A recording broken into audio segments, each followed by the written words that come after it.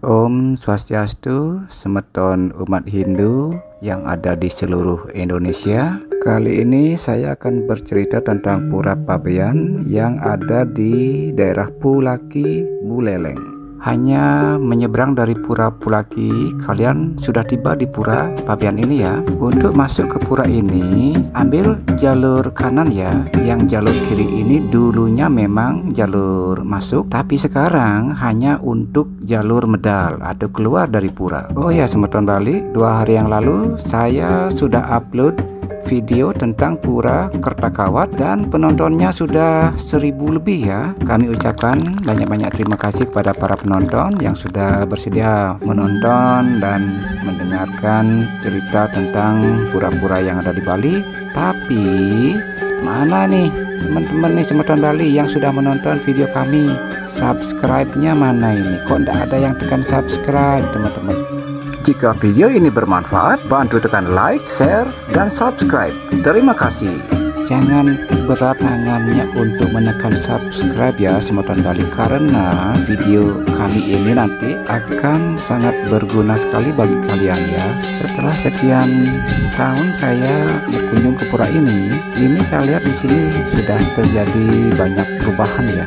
Ini menyerupai sebuah lingkaran untuk jalur masuk dan keluarnya ini dan di sini tambah bagus saya lihat. Pura Pabean ini letaknya di pinggir pantai menghadap laut lepas yang menunjukkan pemandangan yang sangat indah ya.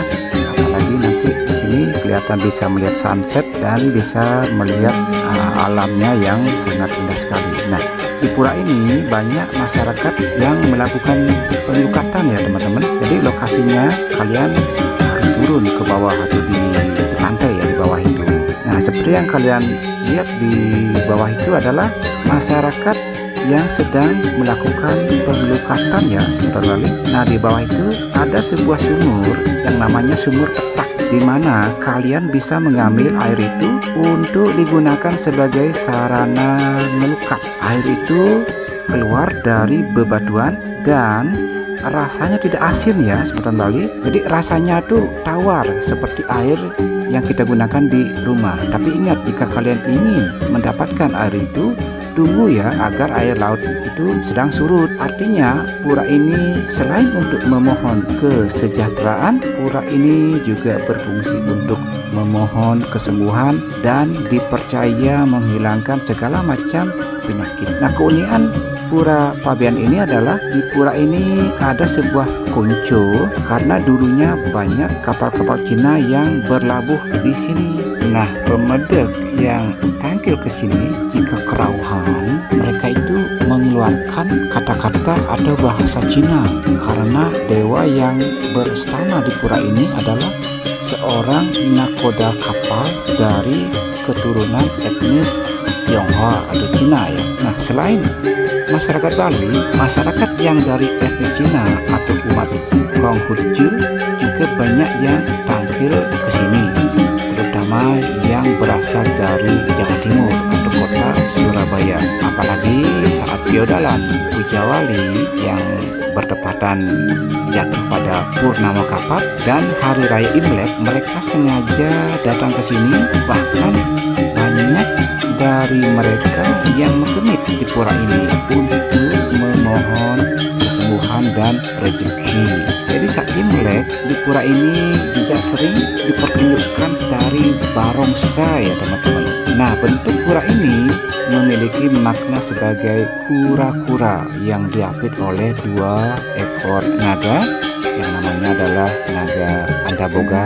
Nah, pada zaman dahulu, Pura Pabean ini menyimpan banyak kisah cerita di mana tempat ini dulunya adalah tempat persinggahan atau dermaga pelabuhan bagi pelaut-pelaut yang berasal dari luar Bali ya khususnya dari etnis Cina jadi Islam juga banyak ke sini dulunya kata pabean berarti bea cukai. Bea ya pajak. Kalau sudah ada kata bea dan cukai berarti pajak. Ada transaksi barang ya.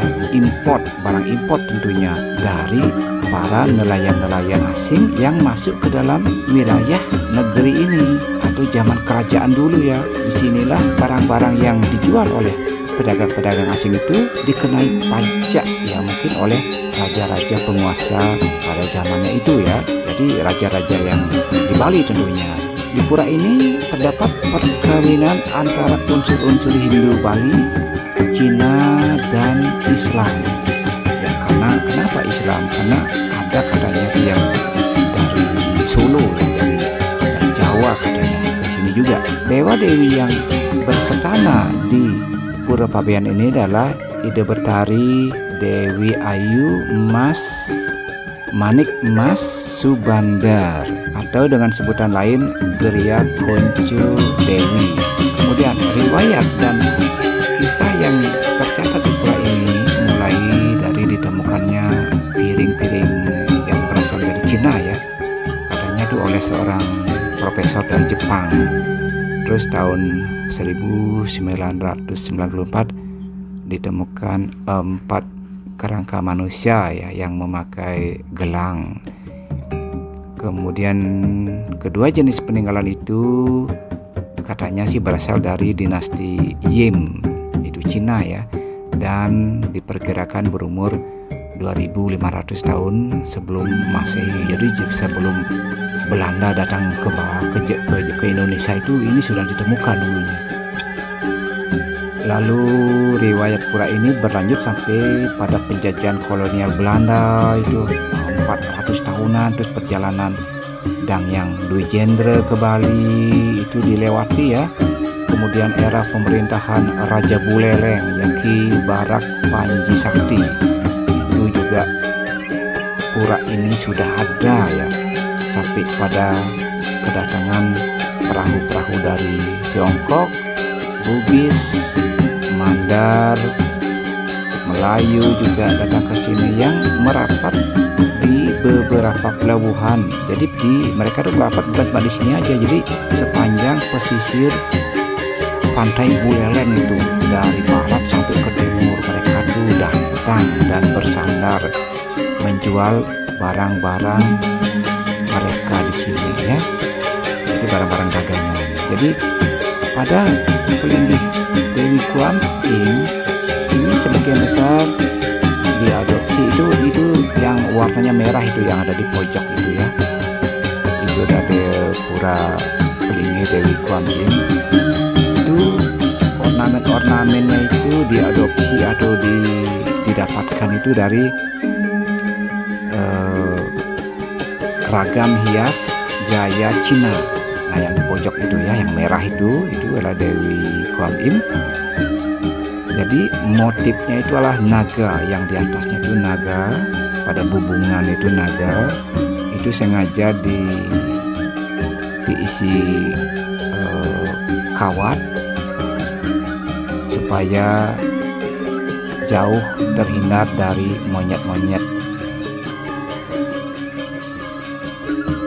Baik, sekian dulu cerita video kami tentang pura ini. Kalian jangan ragu untuk datang ke sini, datanglah ke sini untuk memohon rezeki juga, untuk memohon kesembuhan juga. Dan jika kalian sudah tahu cerita tentang pura ini, maka saya yakin kalian akan berniat untuk datang ke sini dan bersembahyang. Terima kasih, teman-teman balik. Sampai jumpa di video kami